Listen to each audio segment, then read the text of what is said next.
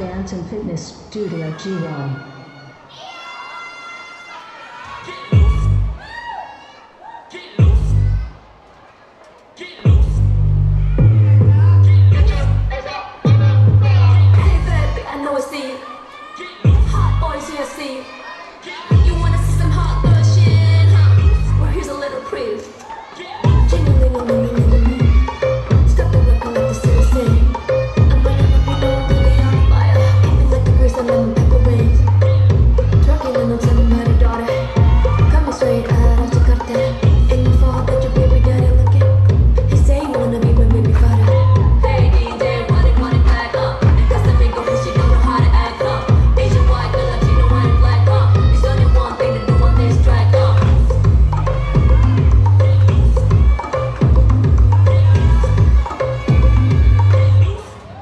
Bad